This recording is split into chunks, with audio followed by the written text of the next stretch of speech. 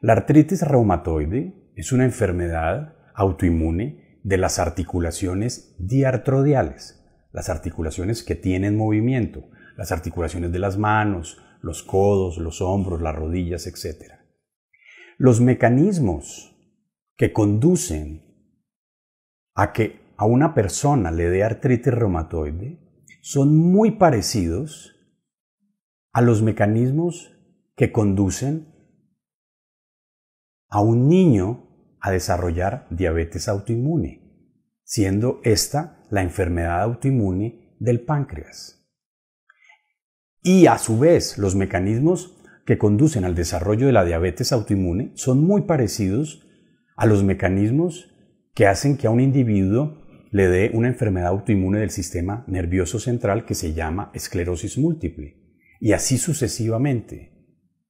Esta hipótesis de la tautología autoinmune está eh, sustentada por 10 argumentos que van desde el mayor compromiso femenino de estas enfermedades, el hecho de que un paciente con una enfermedad autoinmune pueda a lo largo de la vida desarrollar una segunda o una tercera, término conocido como poliautoinmunidad. El hecho de que hayan síntomas y signos compartidos entre estas enfermedades. Por ejemplo, el fenómeno de Raynaud o por ejemplo la presencia de ciertos autoanticuerpos como el factor reumatoide que está presente en la artritis reumatoide, pero puede estar presente en muchas otras enfermedades autoinmunes. Hay muchos signos y síntomas compartidos entre estas enfermedades, lo que se conoce como subfenotipos compartidos.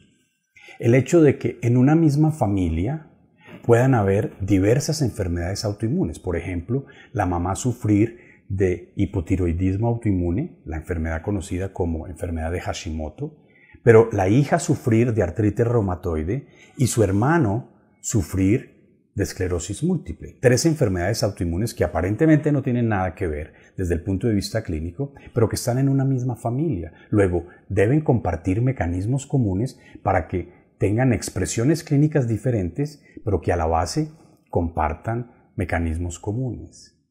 Desde el punto de vista fisiopatológico, cuando uno analiza el tejido de estas enfermedades, por ejemplo, una membrana sinovial de un paciente con artritis reumatoide o una biopsia de glándula salivar de un paciente con síndrome de Sjögren, que es otra enfermedad autoinmune, los mecanismos y los eh, eh, hallazgos que se encuentran en estos tejidos son muy similares desde el punto de vista inmunológico.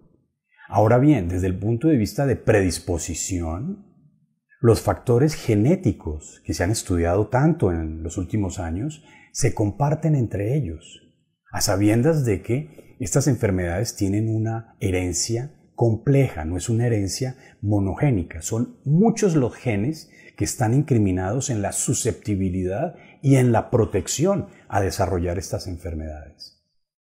Y muchos de esos polimorfismos genéticos se comparten entre todas las enfermedades autoinmunes. Los factores medioambientales que son tan importantes y que nosotros los hemos llamado ecología autoinmune se comparten entre ellos, entre ellas, perdón. Por ejemplo, el tabaquismo. El tabaquismo es un factor de riesgo para muchas enfermedades autoinmunes. Colangitis biliar primaria, artritis reumatoide, lupus eritematoso sistémico, enfermedad autoinmune tiroidea.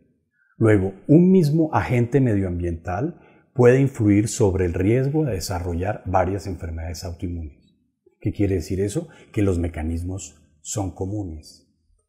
Desde el punto de vista de nuestra población colombiana en particular y latinoamericana en general, la ancestría es un factor muy importante para el desarrollo de las enfermedades autoinmunes. Hay que recordar que una de nuestras grandes riquezas como seres humanos desde el punto de vista de nuestra situación latinoamericana es la diversidad. Somos una población muy diversa. Cada uno de nosotros tiene un componente ancestral amerindio, africano, europeo y asiático. Y eso nos hace muy diversos. La ancestría amerindia es un factor de riesgo de enfermedad autoinmune y de poliautoinmunidad, es decir, de varias enfermedades autoinmunes. Y finalmente, el tratamiento que le ofrecemos a nuestros pacientes es muy similar. Utilizamos medicamentos de síntesis química, como por ejemplo el metotrexate, como por ejemplo la prednisolona, que utilizamos para diversas enfermedades autoinmunes. Y también utilizamos medicamentos biológicos, biotecnológicos, para diversas enfermedades autoinmunes, como por ejemplo los depletores de células B CD20, que se usan en diversas enfermedades autoinmunes.